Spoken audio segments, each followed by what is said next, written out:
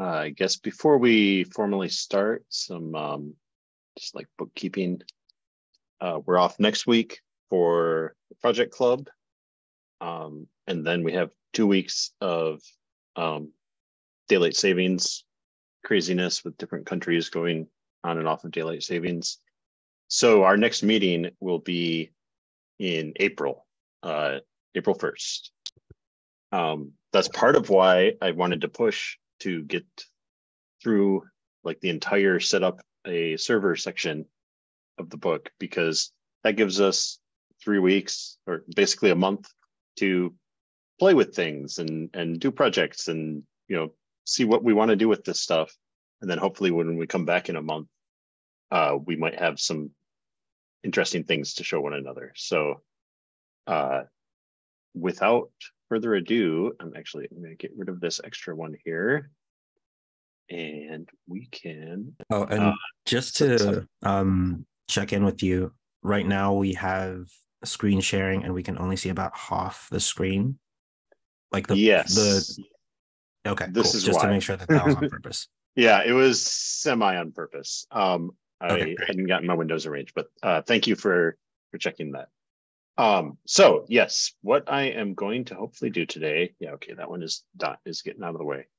Um i've been doing this uh repeatedly ish and so i've done it twice um all the way through and i've done little pieces of it uh several times. So hopefully we can go from effectively nothing to a an ec2 that will have r4ds or not r4ds RStudio running and it'll also have a plumber api and we should be able to see how it could have any number of Plumber APIs, basically. So we could set things up there.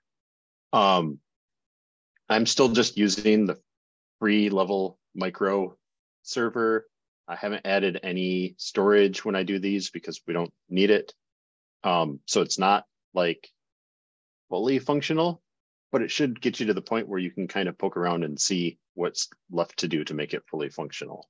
Um, I mean, technically it's fully functional. It's just um, like you could run out of room pretty easily. Um, this is something like I had done parts of this, but the ways I had done it, it was much more difficult than like someone who actually knows what they're doing telling me what to do instead of me experimenting and finding difficult paths. So um, I, I don't know, I found this very interesting. Uh, all right, so last time that we you know, we started this section and then he changed it and we went back and did some other things and then came back. And so uh, like a month ago, we had set up an, an instance and not done anything with it. So I'm going to go ahead and start from scratch there. Uh, it doesn't take much time at all.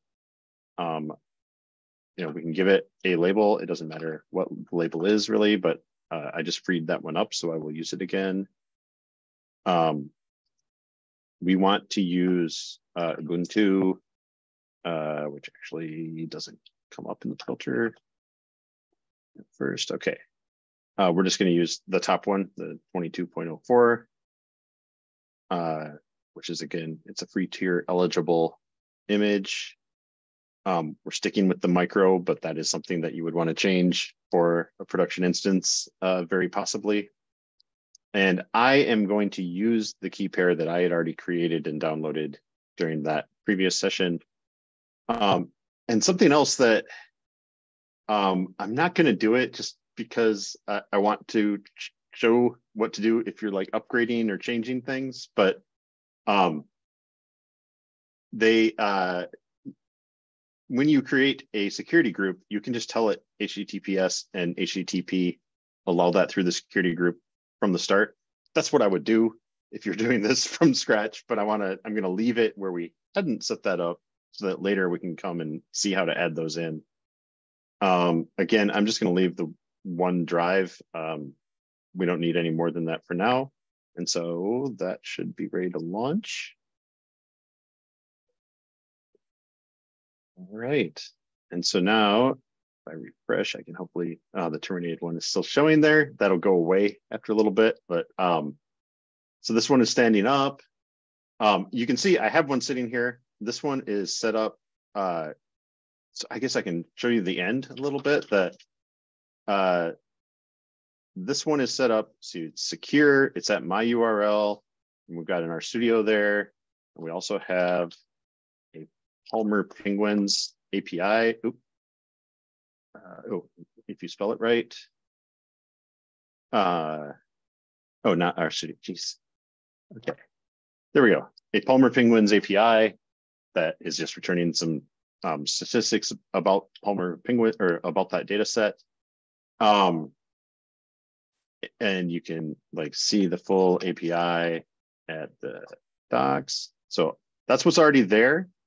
Um, the nice thing about that is that means that the uh, DNS already knows that this IP address is 4dl.io, which is going to be helpful because that means we can demo this live. And when we change the um, IP address to be on our new server, then it'll just kind of work. Um, and hopefully that'll make sense when we get there. So, okay, this is running. I, I vamped long enough. Uh, so that's all the do what we did in chapter 10. Um, any questions before I rush past that? All right. So if you had that running and you just wanted to get it, you know, um, if you had stopped it and you want to start it back up, you do that here. And I'm going to need this public IP uh, DNS.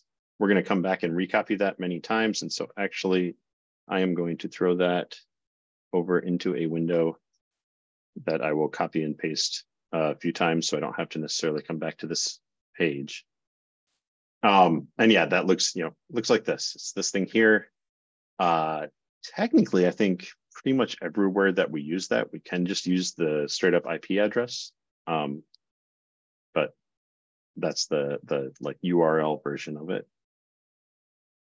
All right, on Windows, I'm going to be doing everything from Windows PowerShell, but use whatever shell you have and are comfortable with from previous chapters. And we're going to SSH over into that server. Um, I'm going to find where I had stuck that key, which is over in this do for ds Labs folder. And I'm going to go in as the Ubuntu root user to my EC2. And gonna, yep, I'm gonna allow that to happen. And so this is this brand new server. I'm, I'm logged into it. And the first thing we wanna do right, right away is let's stop logging in as uh, Ubuntu, as the, like the root user. Um, we're gonna instead, I'm gonna create a user named Jon. Uh, in the notes, it's test user, but the final version of this I'll probably actually use. So I'm going to um, set it up as my username. Um, I am going to set it up with a uh, password that I will change at the end of this in case I accidentally reveal it. and then it has all these fields that you can fill in of like their full name and their room number and different things. So you can just leave those blank. And so that's all set. Um, and then we want to also add the user to the group sudo, which means that uh, this user has permission to uh, do all the like root level things. All right, so yes. All right, everyone uh, still with me? I can only occasionally see faces, so. All right, let me move my windows a little bit more. Oops. That, okay. Um, all right. And yeah, I am going to be kind of rushing. So um, stop me if I rush too much, but I want to try to get through the whole thing so that we have it in like one video. Um, so for the next step, you need an SSH key. Uh, I went through this and then realized, oh, wait, no, I already have an SSH key. And having more than one in my um, like my SSH folder on my machine makes things not work as well. You want like one key.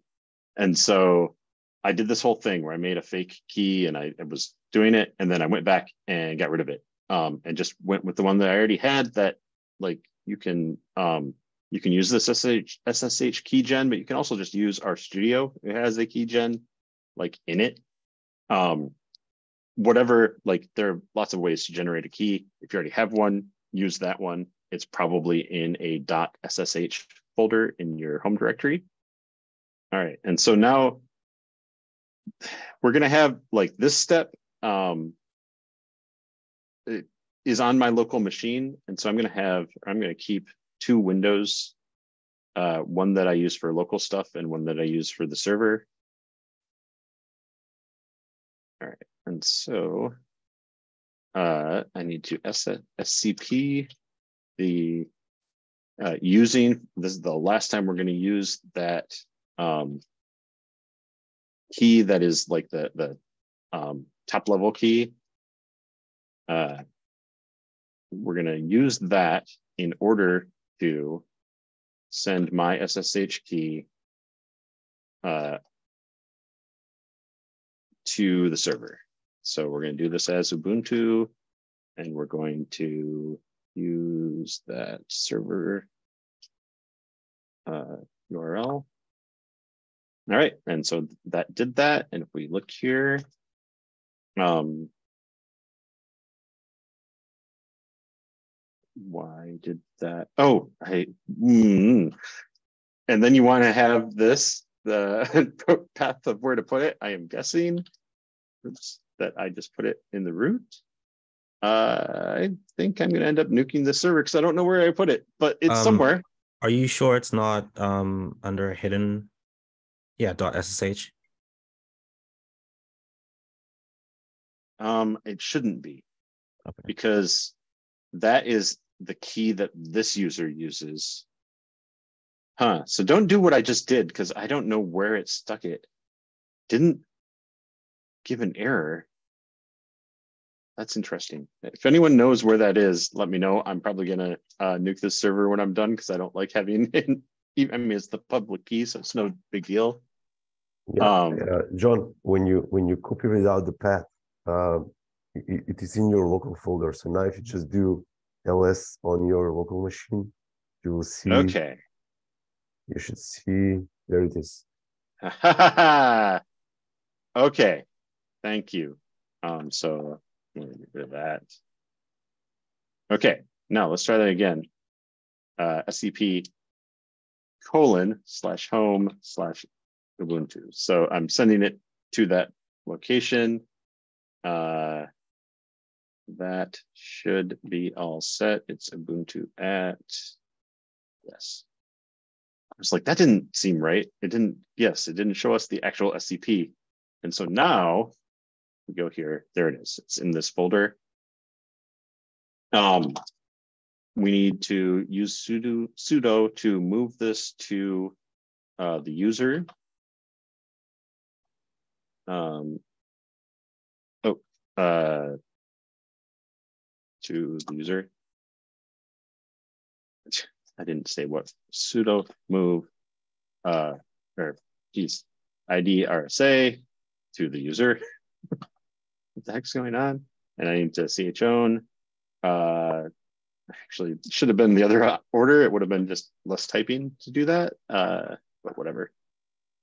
Oh, then it won't well. it won't auto create or auto it won't tab complete with this, but um sudo chown that and actually the name comes first. So Jon, there we go. So all right, so we're giving that we're, we're giving ownership of this to my other user.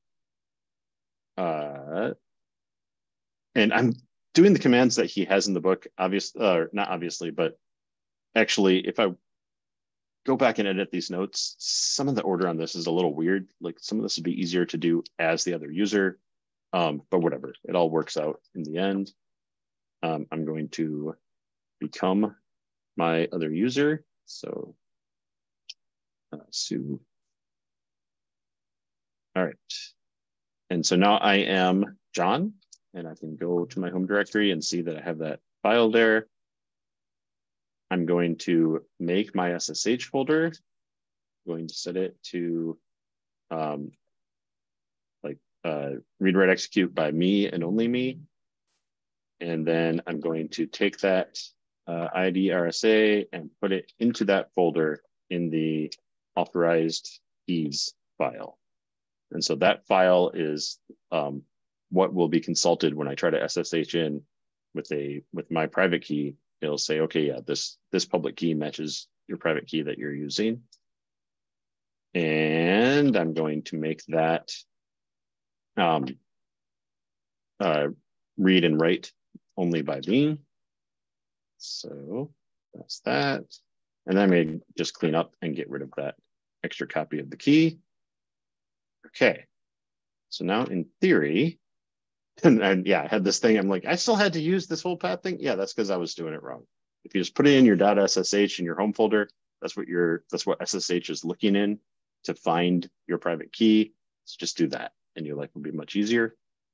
So mostly you can ignore that piece. All right. Uh, next, we want to install R, but actually before we do this, um, I want to actually log in as myself. So I'm gonna get rid of that. And it, um, um, Jon, I have one additional comment. Sure. Um, is that for people who might who might be watching this later, um, there is also the SSH copy ID um, functionality that most SSH um, installs come with, and okay. it takes care of a lot of like it will take care of your personal machine to the user that you've set up on your server, copying the ID automatically and putting it in the right place.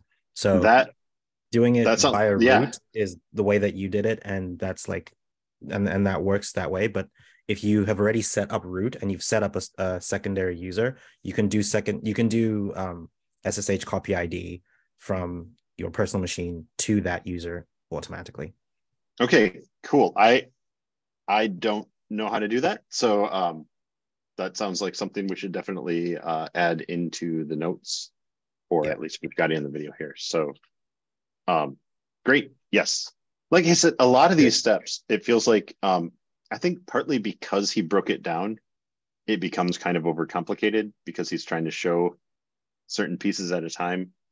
Um, but whatever. There's also, you know, like if it works, it works. and so um, but yes, thank you very much. So in the chat, we have uh, the information about using copy ID. All right, so now that is set up and to show that I can SSH as Jon and it allows me to go in. Um, and that one, if we go back here again, we can see I don't have to like tell it where to look.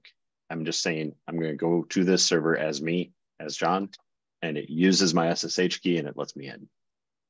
All right, this next piece, um, when I tried to rerun this, I evidently had, oh, there's something that didn't copy paste nicely. I have an extra space in something or something. So I'm going to go to the instructions, but I'll update this in the um, in the doc the next time I come through. This is just, he, he gives us uh, the URL to go to for this rig that rlib um, manages that it's an R installer. The reason it's nice to use this is you can tell it, as we're going to do in a second here, to add the release version of R. And it's like whatever the current release is, it will download and install. You don't have to, uh, or you, I mean, you can, but you don't have to tell it, I want 4.2.2. It's just, I want the latest one. Um, this becomes important that these notes still remain relevant in I think it's two weeks from now is when 4.2.3 comes out. And then uh, rig add release will just auto install that. So, all right, I copied that. Um, I need my password because I'm doing a sudo in there. All right. And so it uh, grabbed this and um, installed it. And so now in theory, at least when we rig add release, there we go. And it's going to install uh, the release version of R. You can also use that, like there are different levels that they talk about in rig that instead of release, um, uh, we could choose um, development next old release uh, to select different versions. And again, it's just relevant to like today. What is the release right now? Um, and in a moment that will be fully installed. Uh, I, I think I mentioned, I don't know, I mentioned somewhere that I um, am not going to do the step in the book where we do where he sets up uh, Jupyter Lab or Jupyter Hub because uh, I don't need it for what I'm working with. But he has the instructions in the book for doing that. Um, but just so I, I ran R here, we can see that yes, I have uh, R installed. It's 4 4.2.2. Um, so that's all set. Okay. So uh, this next step, he he does, you know, he says go to RStudio and like copy paste instructions from there. Um, I'll go ahead and load that, but I, I copied them over so that we can have that ready. Um, I'm okay with these cookies. So we would want to use Debian and we, you know, we tell it what we're using, that we're using 22, yada, yada, yada. So that's, that's where these instructions came from. I just copied these yesterday, so they should be at least good enough to go. Um, this is setting things up in order to download. So the, you know, this is like the installer effectively. Um, this is the uh, URL or the, you know, where we're downloading it to our local directory. And then we're using that uh, gdebi to install it. Uh, yes, I want to install it. And then hit something accidentally. Okay. And when it's done installing, we'll be able to check it with this uh, systemctl call. Uh, minute now. All right. Um, so actually it showed us like it does the call at the end that shows us that's running, but we can call that again at any time and we see, you know, it's it's active. Um, we just can see that it started. Um, oh, and then the last piece is just some cleanup that we did download this file and then we installed it so we can get rid of it. All right. So now we have R and RStudio on our server, but we can't actually use it. So we're gonna do a um, like temporary just check that um, we can tunnel uh, into the server. So what we're doing with this is SSH. I don't know what the N is, but I needed it. And I didn't take it, I didn't have enough time to learn this. Like it didn't work when I first ran this. Um, I did some Googling and Google said to put this N on there. So for now, I'm just kind of running with that. If anyone knows why I need it, that would be useful to know. Um, I, I, don't know. And actually, I changed some other things. So let's try it without the N. He didn't have the N and oh um, yeah it's just like it logs into the server that's not what i want to do i want to tunnel so yeah it, um, it, it, doesn't matter the tunnel is still working okay okay so i am tunneling okay so it, it works so that yeah the n is i think you know don't log into the server i think that's yep. the end does there okay so it works it's just uh uh, also logs into the server. I think I probably just, yeah, once I disconnected, it killed the tunnel. Otherwise, I could have, if I did the NL version, actually, I'll go ahead and do that to have the comparison. What that'll do is just like says N is do not execute a remote command, which I think that typically the remote command is bash, just like start okay. the bash shell. So if you do SSH minus N, it means don't start a shell, just yeah. sit there. There you go. Yes. So yeah, instead of starting in a shell, it'll just run as a process in this window. Um, whatever. Like uh, number one, it doesn't matter that much because we're not going to keep doing this, but this is a way to check on our way there. Um, but that's good to know. Uh, so I, will update the notes there. I don't actually need the N. Um, but yeah. Oh, and I've just kind of glossed over. But hey, cool. We have RStudio running on the server. Oops, we had RStudio running on the server before I killed it. Um, and uh, you know like i can log in i use the password that i have set up for that account and i'm not going to save that password because it's not real and voila we have RStudio. it's running you know it, we're tunneling into it on our local host but it is it's actually executing on the server uh, which is pretty cool yeah you could you can access also on the public ip So that's yeah. Uh, no, actually, we can't yet because we don't have HTTP open. So because we explicitly didn't open HTTP, oh, yeah, yeah. Okay. it won't work. Um, and I can actually. But, it, but it's better to tunnel anyway because you don't want, you know, data going over the internet. Right. Yeah, right. right. Right. And so, you know, we can see like this isn't going to load um, because we don't have that open. Uh, so again, I didn't do the Python and Jupyter Lab step, but follow the instructions if you want to do that. uh, and I'm going to close the tunnel. Okay. But I am going to go ahead and install Docker. Um, and that's going to, actually that goes pretty fast, but um, let that run. Um, we can see that this did fail to load because we don't have that port open. We'll talk about that more in a little bit.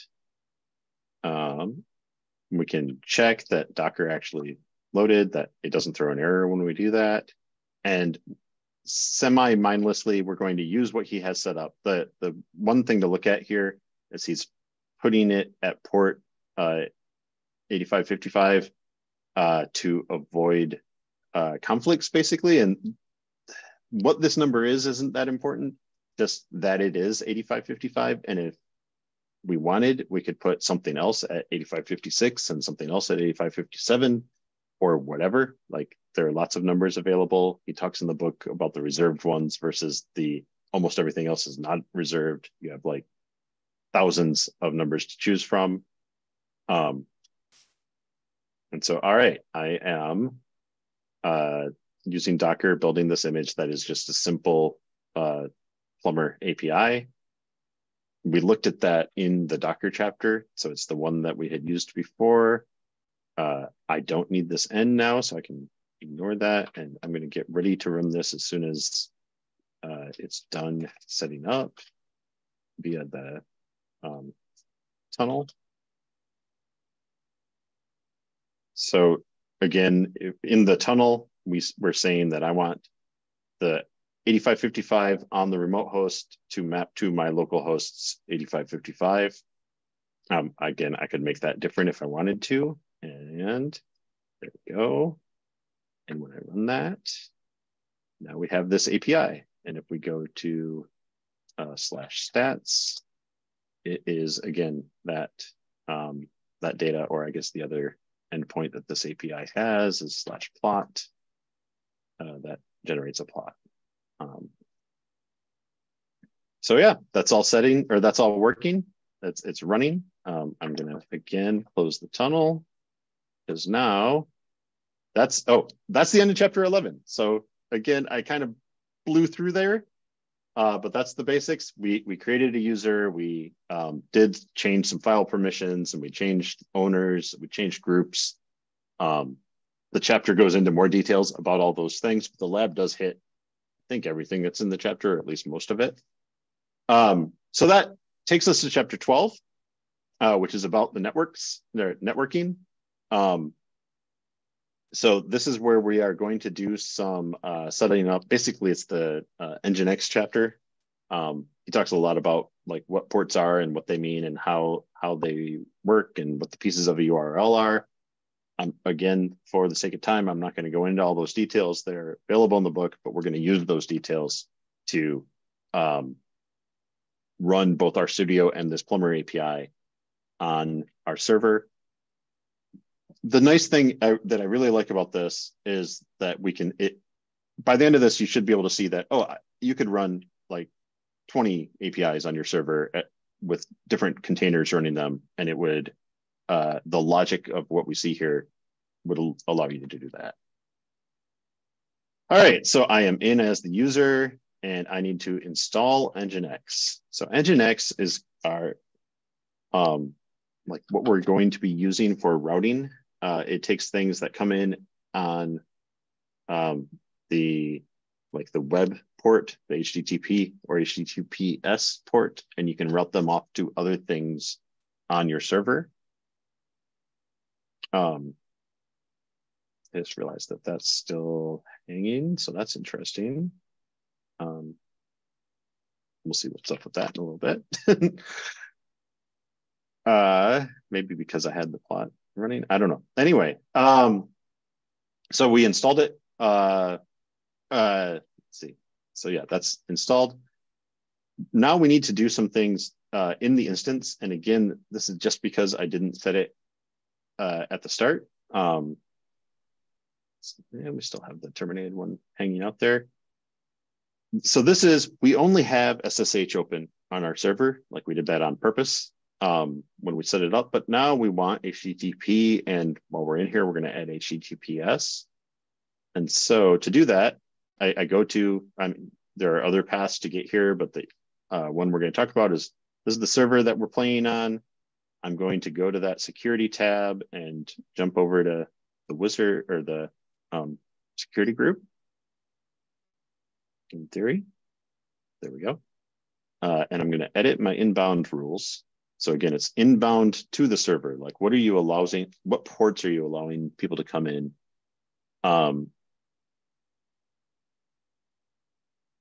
uh, that is uh, so. Gus said in the chat that there's a, a GUI Docker image to make uh, things easier or more complicated, depending how you look at it. Um, yeah, I don't know. Like, uh, this is working, so I'm not going to change it for now. Uh, yeah. But um, that is good to know. It's more of like a if you were to run this locally, like if you're building a local right server thing, then it would be easier. But a lot of the tutorials are YAML based, and so you can get lost really easily. And that's where like your initial gut instinct is, oh, GUI is easier. But really, if you need help, then it's not. Right but that's good to know about. Um, so yeah, in these inbound rules, I'm just allowing HTTP and HTTPS while we're in here. It won't, the HTTPS won't actually work yet, but we're gonna allow it. Um, the, uh, uh, uh, where was my point on that? That, uh, you know, again, when we set up the server, we could have just um, set these to be open. Um, you can also like you can specify only certain IP addresses can reach it. That might be something that you need if you're doing this um, at work. Um, you can set up security groups and you can do all kinds of things. But the general idea here is we're just saying, okay, yeah, you can SSH in. We don't want to take that away, and you can reach it through HTTP and HTTPS. All right, so that's that. All right, so now we need to go back to this one. And actually, I'm going to kill that one because I don't know why it was hanging open. All right. Um, we are going to be messing with the Nginx uh, uh, configuration file. And so the first thing that you should generally do if you're going to do that is copy it to a backup. Um, and so that's where what we're starting with here. And then we're going to edit it, and you can edit it using whatever you want to use to edit it. Um, I uh, used to be really comfortable with Vim. Now I'm only kind of comfortable with Vim, but um, at least I can do things like I'm just going to nuke what they have there by uh, deleting. DD is delete a line, and you can just put a number in front of that to do a whole bunch of them. Um, so yeah, I, am nuking what they give us to start with to work or go with what he uh, provided. Oops, why? Oh. All right.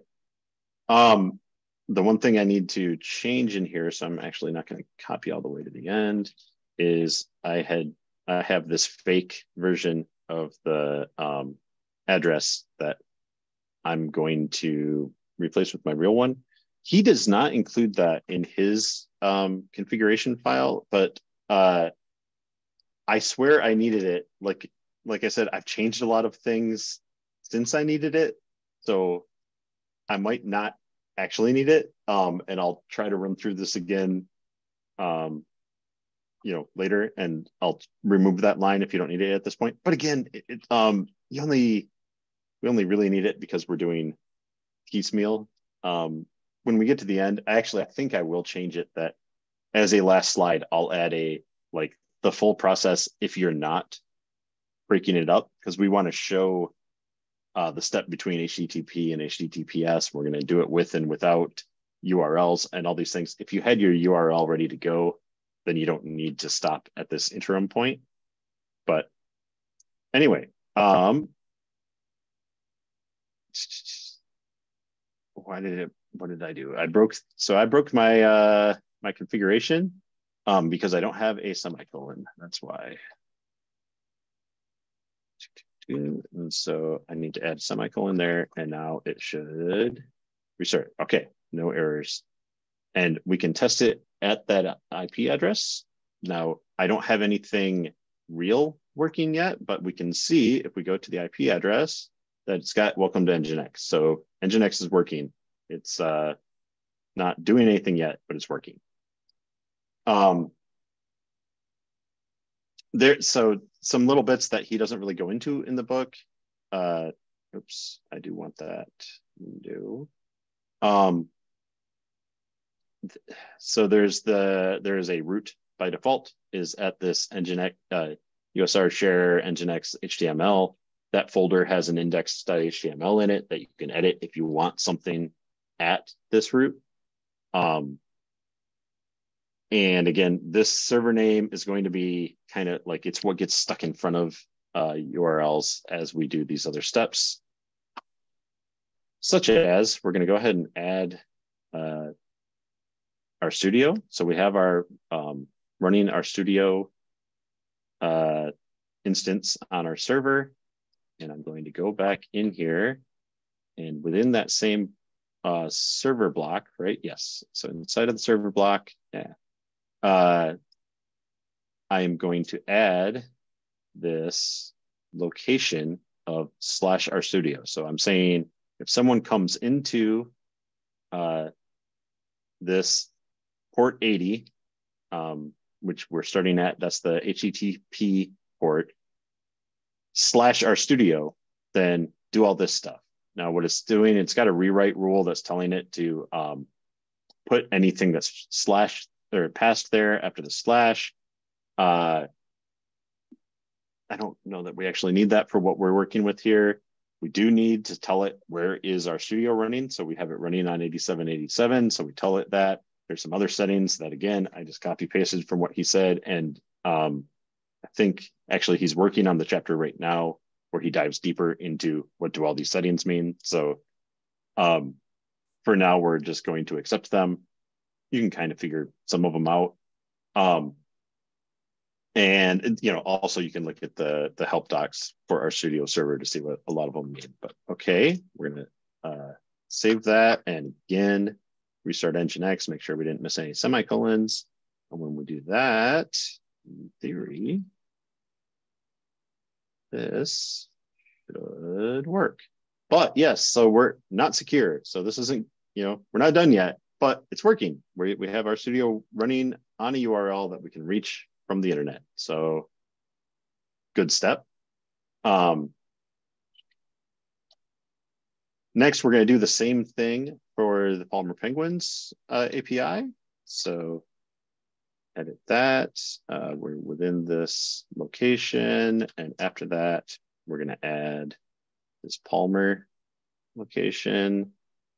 Um, this one's really straightforward because there aren't a lot of um, like there aren't a lot of things we need to deal with the way this is set up right now, at least. We're saying if you're at slash Palmer, then go to that 8555. Um, and we need the uh, slash Palmer piece to keep to be inserted in there. He doesn't have this in the book yet. It just says to do. So I um, I intend to keep watching for him to update that part and see what else I might be missing. But this is what uh, other people have used, and so it seems to work. Um, and if we uh, save this and restart Nginx again, we can change RStudio to Palmer slash the docs um, slash and there we go. It, it is there. We can see all the um, you know documentation. We can uh, run things and see things, and it, like it works. Uh, it, it'll give us our outputs. We can do everything that we can do with a Plumber API, which is cool. And again, I like I want to pause for a second um, because that's cool. Like the way this is set up, we've got slash Palmer, but you could have slash whatever. We could run a dozen APIs now. You know, we're all we're running on one micro server right now. You probably wouldn't want to be running high um, compute power APIs, a ton of them all on the server, but you could. It's not necessarily the best way to run things. Um, like lambdas are probably a better route for a lot of API type things, and we'll. Uh, well, I don't think the book's going to go into those, but I will be digging into that over the next uh, weeks. Um, but you know, we've got it running. We've got a thing that that's working, um, but it's uh, not secure. So uh, that's the end of that chapter. Now we're on to chapter 13 because now we're going to make it secure. Um, and yes, it is. Uh, Ahmed says it's pretty cool. I uh, like. I can't remember. He has some language in that chapter that kind of. It's either that one or the next one that that like deflates. Like it works, but it's dumb and broken, and don't use this.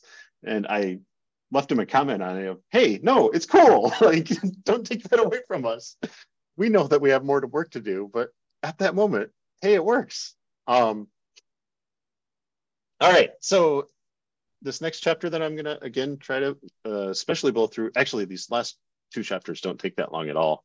But this he goes into a lot more details about what the fully qualified domain name is telling you, um, what DNS uh, is and why it takes so long for sometimes for things to propagate and how to set up records to route traffic to a domain.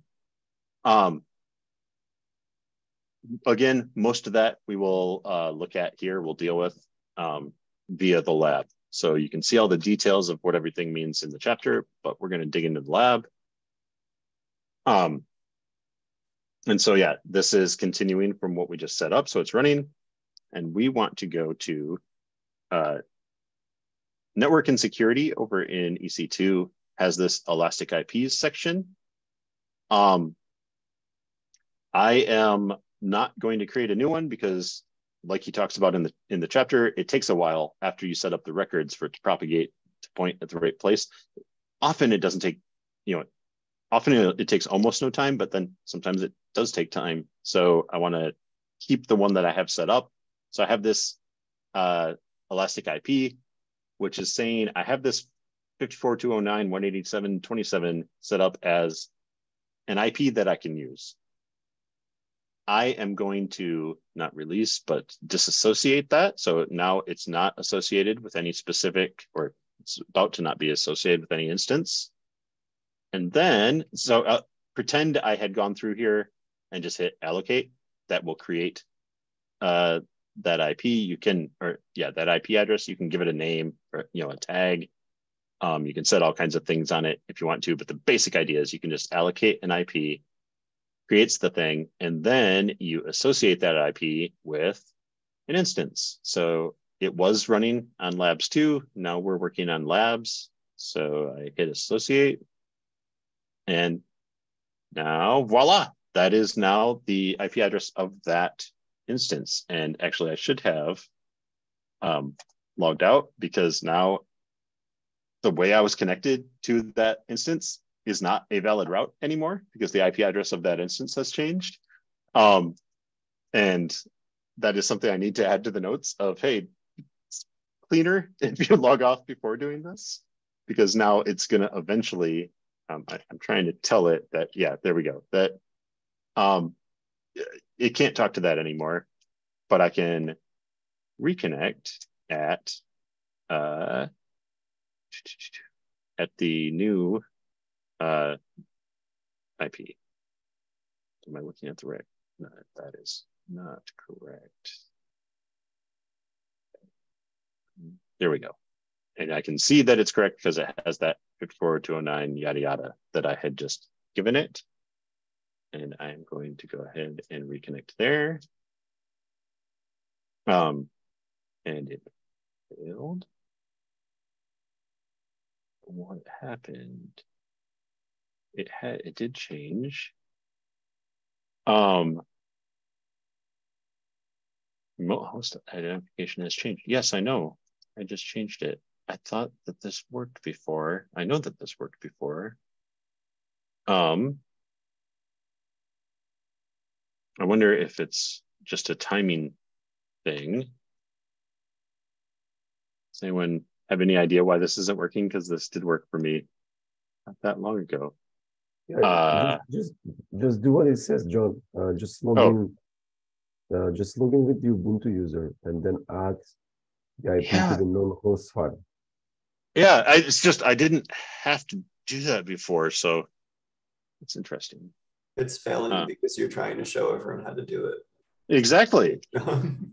uh, and so yeah, I'm gonna have to give it uh, the, the forum will. Oops, that's not what I want. Um, again, yeah, it's because we're. I'm trying to finish, and that's especially why it's gonna fail. Um, do and then Ubuntu at should work. Oh, um, oh, okay. Uh, let me hold on a sec. I have to do it locally, not on the other server. So, um, I am just, just not sure what I'm going to see. So, click on the instance here in the console and click connect. Um, uh, but yeah, I should be able to do. Um, hold on, I can just do this in Notepad. Ah, one moment. So open the file.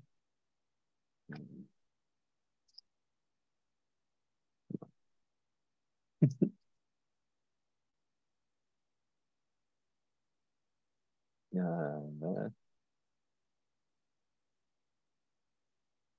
No, darn it, come on. I've got another. I just have to get to the path. Almost there. Trying to do things quickly makes it fail. So slow down, uh, open the posts, and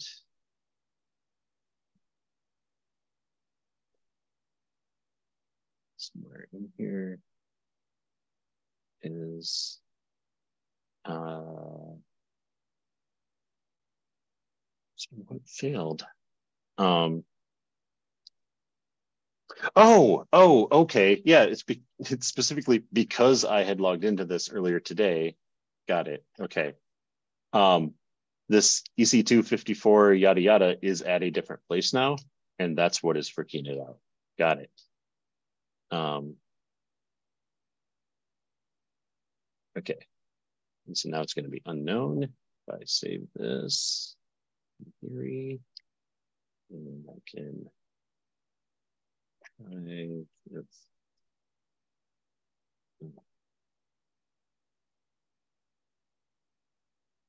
Okay. Oops, yes. Okay. so uh, now I am back in as um, myself on that server. Uh, and uh, I can go on to the next one. I, I'm not going to show this step because it depends where you registered, but in your registration, wherever you registered, you go into your DNS settings for that, uh, and you have to add uh, a star with whatever that IP address is that you just set up, a at. Um, star is like any subdomain that isn't specifically named. Go to the root, you know, go to the IP that you have that you set up. Um, at is the uh, the main like just your domain.u is goes to there, and then cname is saying um, if you see www dot just redirect that to the root to the the main uh, domain. You could also set up other things, but that's the basic idea. All right, and so now that that's done, we uh, need to get uh, Nginx ready to go. So I have to grab my query password. The thing we need to change is here, you know, like I said, if we were doing this for real, I never would have put this here because it was only there for a moment. And now I'm going to put uh, 4DL, oops, thankfully that only did a little bit of harm. I wasn't in uh, insert mode. So, okay, 4dl.io and www.4dl.io are now the server. Um, write that and restart Nginx. I'm not actually sure. Oh, yeah. Okay. And now if we go to HTTP um, 4DL.io, let's make sure that we stay at HTTP slash RStudio. Um, I don't know why that failed. Did I not hit the restart? I did restart. It's running. It's at it's at the IP address. Uh, anyone see what I did wrong? Because this worked earlier. Good. Um, you can check. check oh, it's it's it's it it went to HTTPS, which will not work. So it's not. Oh, um, well, no. Uh, I didn't set the re- the upgrade yet. Um, so in theory, this work, but it's trying to, it's redirecting, I think it's redirecting to HTTPS and that will fail. No, there we it's go. Just, it's just not live yet. When you get it should be. When you get the connection refused, there's something in the background that hasn't set up the connection or whatever you're trying to connect to isn't live yet. Because they, I get that all the time at home when I'm upgrading my Docker images and I'm just okay, like well. refreshing to check for it. But oh, sorry. Um, also, because I say here, right here in the notes, that doesn't work yet. We haven't finished. That's in the next chapter. Um, it only at this point is set up to work with uh, the root. So yes, it's not fully configured yet. That's why it didn't work. Okay. Uh, so, but we have it. So 4DL is going to this server. I should have done a step of made it get not work at 4DL.io, and then it does work because it's hard to really prove that that's what's happening. But that's this IP address is what I have set up with my CNAME, or not my CNAME, but my A records. Um, and so that should be good to go. Um, all right, so now we're going to be doing HTTPS, and hopefully I can do this in like four minutes. Um, there's some chat in the on Slack, and uh, generally that like apparently the way he does this one is also a little bit harder than it needs to be, but it works. So we're going to go ahead and do that. Um, this chapter is pretty short. It just talks about how uh, it specifically like what problems SSL and HTTPS and technically TLS are solving and how they solve those problems. Um, but the really useful part is how easy it is now to set this up. So uh, we need to make sure that we have that line in Nginx, which we do because we just did that. I'm going to actually just make sure that I don't have any typos or anything. Um, but yeah, those are there. The server name, that's the important part because um, we're going to uh, use that. This, this cert bot uses that in order to uh, set up the certificates. And so um, I install this certbot and the Nginx like plugin for it. Okay, it's ready to go. Uh, he had us restart Nginx here. I don't think we actually need to do that, but whatever, it doesn't hurt. And we're going to set it to my domain and www.mydomain. Um, and oh, and right, there's the typo that I have that he had that I copied. So we need dash dash nginx. Um, you need two and the D's. Yep, yep, yep. Okay. So yeah, dash dash nginx, and then uh, dash D 4DL dash D, which I assume is domain for the www, and that still didn't work. Um, I needed that. And I thought dash dash fixed it. 4DL.io, www. I did this and it worked. What am I doing wrong? Um,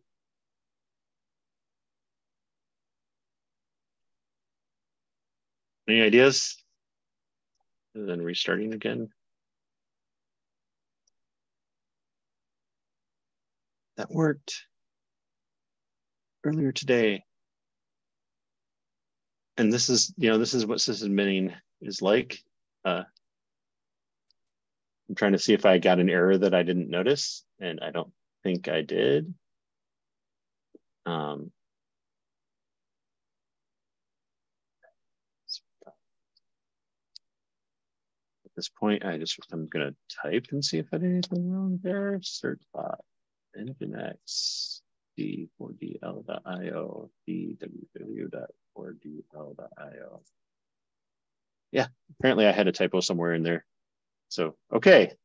Um, it wants an e email address, and so I'm giving it this email address. And I do want to, or I do agree um, to the TOS, but I don't want them to send me email. So, no. And it's going to set it up. I think it's going to be fine. and I'm getting ready for when it finishes. Hope I, I don't know. Okay. I wasn't sure if um like requesting too often for the same URL was going to cause any problem because I'm doing that as this as I experiment with this. Apparently it's okay with that.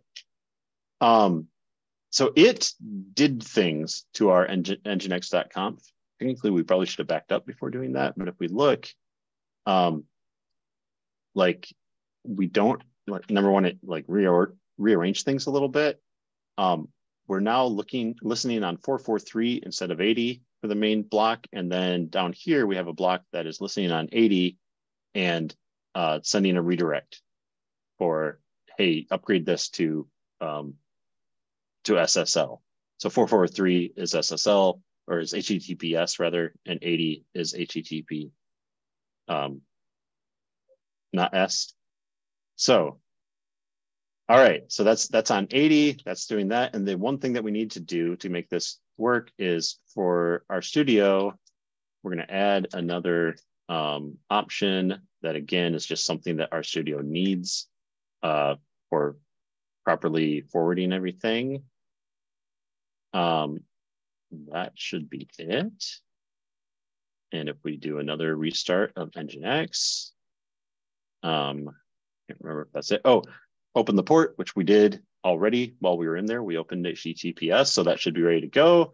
And so now if I go to, let's see, 4dl.io slash, oops, 4dl.io is fine. Um, note that we've got the lock there. 4dl.io slash RStudio that actually logs in or, or gives the login. Um, hit the API, we get the API result, again, all with the lock. And in theory, it does this right, if we say HTTP, it will upgrade. And yes, it goes to the HTTPS version. Um, he talked about deleting HTTP, but we've got this upgrade rule. I don't feel like, like why close the port? I don't know. Like it feels like if you close the port, it just makes it not work.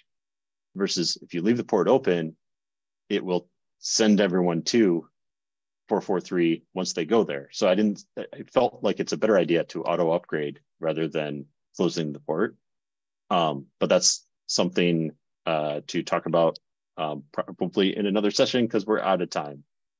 Um, but yeah, that is chapters 11 through 14, technically 10 through 14 because I redid the create the server part.